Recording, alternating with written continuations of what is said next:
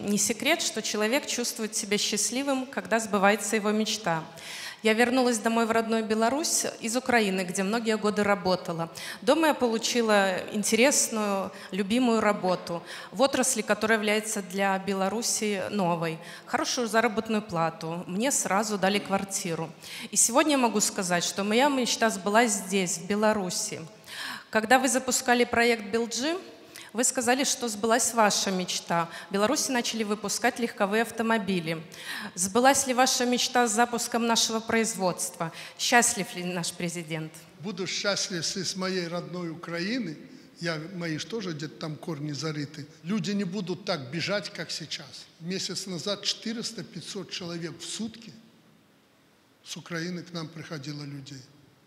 Я рассказывал как-то – Кого-то надо покормить с детишками, кто на велосипедах, кто на чем, с детками, изможденные, грязные, кого-то отмыть, кого-то помыть, кого-то накормить, кого-то подлечить и таблетки с собой какие-то дать, укол сделать, а кого-то забрать в больницу вылечить.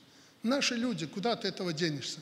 И на меня еще пытаются там власти накатывать, что я чуть ли не воюю в Украине. Да я лечу сегодня украинцев, наши врачи, и россиян. Мы спасали людей и спасаем. Мы никого не убиваем, а нас там убивали. Помните эту спецоперацию по водителям большегрузных автомобилей?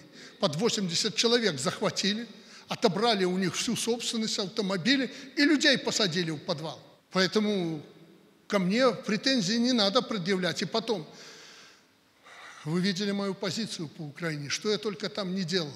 И Первыми, кто против нас санкции ввел, был Киев. Володя Зеленский, к которому я как к своему ребенку относился.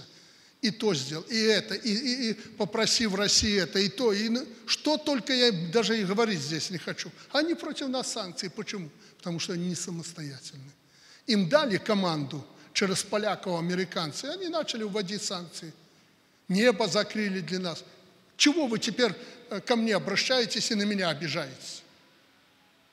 Мы выполняем свои э, союзнические договоренности с Россией.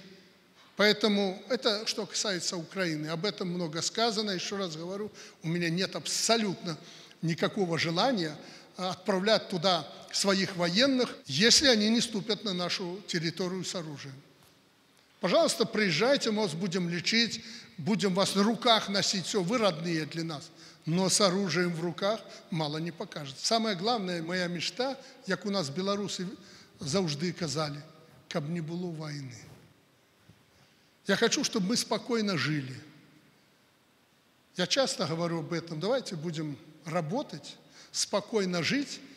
Но вы, когда у вас интерес какой-то, а что делать, как, я уже вам сказал. Тоже по-народному. Пожалуйста, занимайтесь своим делом.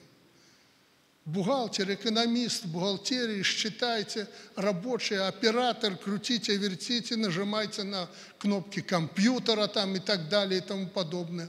А я буду заниматься своим делом. Каждый должен заниматься своим делом. Ни в коем случае не допускайте даже малейшей какой-то расхлябанности, недисциплинированности, что приведет непременно к дестабилизации обстановки. А этим сразу же воспользуются наши соперники. Только от нас это все зависит. Поэтому живите спокойно, не переживайте, все у нас образуется. Все, чего нет, мы купим, как я говорю. Счастья и успехов вам!